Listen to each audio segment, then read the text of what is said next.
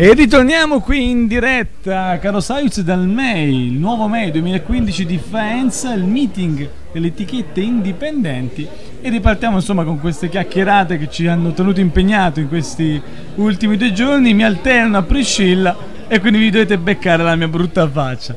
Qui con noi abbiamo Paolo, Paolo Farina, ciao. Ciao. Come stai? E Sto bene, non ho visto Priscilla per cui non tocca, posso fare confronto. Ti, ti tocca a me comunque la tua destra, se ti interessa.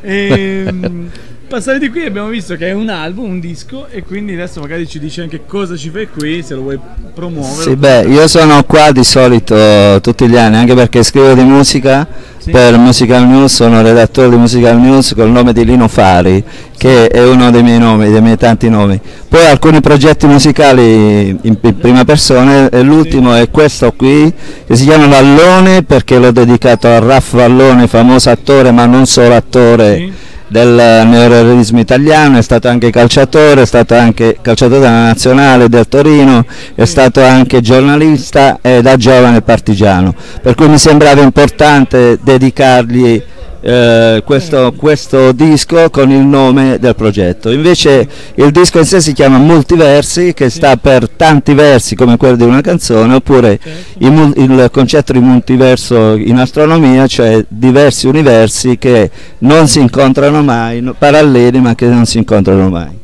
Sì, come hai preso spunto da questa cosa? Ma niente, così. L'hai sognato la notte? No, no, beh, no, no, è una cosa di cui ho letto, che ho studiato, ho detto però molti versi sta benissimo anche come, come titolo di un esatto, disco, esatto. perché in realtà all'interno, se tu poi giri la copertina, poi vedi che ci sono, e ci sono i testi ri, riscritti a mano. Facciamoli vedere, aspetta, facciamoli anche vedere. Sai, ok, va bene. Vedi, ci sono i testi scritti a mano eh, a cui sono, sono, stati sovrapposti del, sono state sovrapposte delle immagini di, di universi soprattutto all'interno no, del libretto. Ce n'è di più, ce ne certo, sono tanti. eh, appunto per puntualizzare questo concetto. Cioè, allora nel disco ci sono dieci brani sì. ed è il mio primo disco da cantautore perché prima ho fatto il prog prima ancora l'etnico ti sei dato da fare eh, no, ma mi sono fermato per vent'anni, da giovane ho fatto altro, cioè nel senso che ho iniziato da giovane, poi ho smesso per vent'anni e ho ripreso eh, dopo i 40 anni. Okay. Quindi a tutti gli effetti sono sempre tra gli emergenti. Dicevo io tra l'altro vengo sempre qui, di solito ci vengo il sabato, oggi sono arrivato in ritardo quindi ho perso un bel po' di roba ma vieni da eh, lontano? No, da, da Milano. Eh, insomma, anche, se io, anche, l'accento, anche se l'accento non è milanese. Milano Sud forse. no, Mil- Sud Milano, no, nel senso che io sono pugliese ed è anche per questo che ho fatto tre dischi a nome Etnoritmo. Sì. che è il mio progetto in dialetto, eh, tutti, i dischi, tutti i miei dischi sono, hanno un'etichetta e un distributore. Bene. E ricordiamo chi è allora l'etichetta? Allora, di questo ultimo disco, Vallone Multiversi, che appunto è il mio primo disco da cantautore, quindi sì. canzone da cantautore, certo. l'etichetta è Musita, è la, l'ufficio stampa è Libellula di Torino e il distributore fisico è Audioglobe, poi naturalmente si, si compra su iTunes e gli altri sì. negozi digitali e c'è comunque una pagina su Facebook esatto, che si chiama Pro- Progetto Vallone. Quindi Progetto Vallone, che è la pagina appunto dove... E sul comparto, diciamo, social come stiamo andando? Lo segui tu? Chi lo segue? No, seguo tutto io. Io pratica, questa è la prima volta che, che, ho avuto un ufficio stampa per tre mesi, ripeto, Libellula di Torino, sì? che ha lavorato tantissimo, però eh, diciamo che anche buona parte la faccio io perché, come ho detto prima, sono anche io un giornalista, nel senso che scrivo di musica come redattore di Musical News. E quindi insomma eri già nell'ambiente indipendente esatto. diciamo, diciamo, che eh. quando hanno fatto il report, quello del, di, di Libellula, metà, metà di quello che c'era dentro era dovuto a me, nel senso che erano contatti che avevo procurato io. Beh, quindi hai dovuto comunque in qualche modo ufficio stampa o no? Ho capito. E per eh, serate, concerti, lì come ti ah, muovi? Allora, fai... per serate e concerti è un disastro. disastro. un disastro perché eh. quando si parla di musica eh, inedita, nuova, sì. non cover e, certo. e, soprattutto, adesso per esempio parlando dei miei primi tre dischi in dialetto che ho fatto sì. dal 2002 al 2010, sì. Eh, parlando soprattutto di musica che non è eh, Tamurriata che non è pizzica, dove a Eh. Milano per tanti anni, fino a, almeno fino a due anni fa, Sì. c'è stata una grande moda per cui c'erano, erano i concerti più affollati e quindi più pagati. Certo. Però do- dovevi fare le pizze, cioè le cover praticamente, la Sì, musica sì. tradizionale le cover, cose Eh, che io non faccio perché diciamo che per certi versi, giusto per capire, il mio progetto è un ritmo, ripeto, passato, l'ho, tenuto in piedi fino al 2011, Sì. eh, si, si poteva accostare se vuoi a Van der Spross, l'operazione che ha fatto Van der Spross, cioè utilizzando il dialetto, però musicalmente ci ha messo dentro un po' di tutto, Sì, sì, dal rock al reggae, anche il folk, eccetera. di, di successo Però ecco, lui ha avuto successo direttamente nella zona, non so se questo lo sai, il suo successo è iniziato in Svizzera, nella Svizzera italiana, Pensa, Ne- ne- sì, lo ne- in una zona in cui c'era, parlavano proprio questo dialetto qui. E poi da lì dopo si è, si è Certo. fatto notare, eccetera, è vero.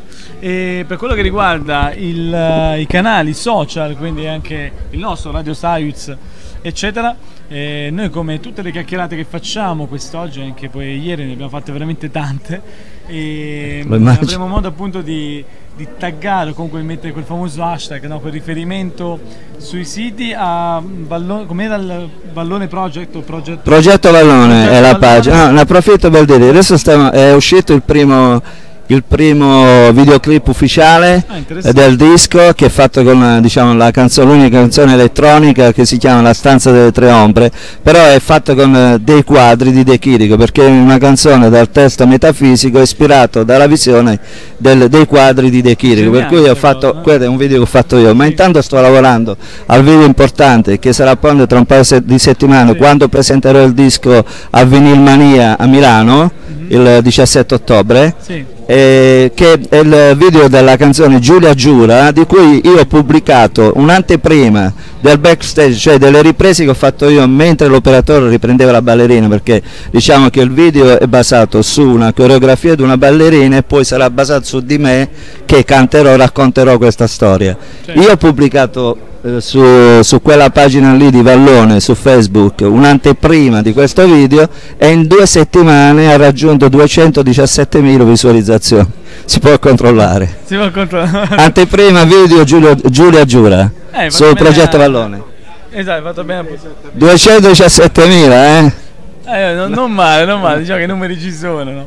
E l'esperienza pure, quindi che dobbiamo fare? Tu come data, quindi adesso non, non ne hai ancora fissato? Allora, il mio problema è il gruppo live, nel senso che io nei dischi eh, ho moltissimi amici, musicisti bravi, importanti anche, Sì. basterebbe leggere l'elenco un po', no, faccio solo un nome, cioè chi ha fatto i messaggi di questo disco è il fonico di Ligabue, si chiama Paolo Da Felice, Sì. naturalmente a, me ha fatto un prezzo diverso, perché Ligabue quando produce per un provino Sì. di un pezzo spende meno di quanto ho speso io per tutto il disco. Eh, no, per no, però ho la fortuna di, di avere la stima e l'amicizia di alcune persone, invece il cui arrangiatore e coproduttore artistico si chiama Lele Battista, non so se lo- non lo conoscete, tra le altre cose, No, oltre sì. che essere un cantautore e lavorare Sì. per la Mescal, è stato anche coach vocal per Morgan all'ultima edizione di X Factor, tra le altre cose. No, no, quindi diciamo che è un bel, è un bel cast, ecco. Esatto, poi ci sono anche diversi musicisti, molto- alcuni molto conosciuti insomma. Ma che altro dire, Paolo? Noi ti ringraziamo di questa chiacchierata che abbiamo anche noi nel nostro piccolo fatto conoscere chi è Paolo Farina, ma soprattutto il progetto Vallone. E quindi vedremo anche di seguire i tuoi lavori e se vuoi anche vedere questa chiacchierata che adesso è in diretta, ma sarà, c'è una registrazione che verrà messa sul podcast, segui anche tu la pagina Facebook di Radio Saius, Saius dove appunto avrai modo e avranno modo anche gli ascoltatori e chi ti segue di vedere questa chiacchierata e magari tutti i lavori. Benissimo, ma questo da quando? Da già... Ah, questo in settimana. In direi. settimana? Ok. Più o meno sì, da quando verrà montato, pulito, no, tutto il Va lavoro, bene, eccetera. Eh, vorrei dire ancora una Prego. piccola cosa, per ascoltare i brani, cioè a parte il, il vi- eh, su YouTube ci sono anche, non so chi li abbia messi, però ci sono anche diciamo, i video con la sola copertina di tutti i brani, quindi si possono anche ascoltare tutti i brani del disco, anche su YouTube, Su sì sì, YouTube, tutti i brani. A parte il video ufficiale, eh, il primo video ufficiale è quello che arriverà, si possono ascoltare tutti i brani.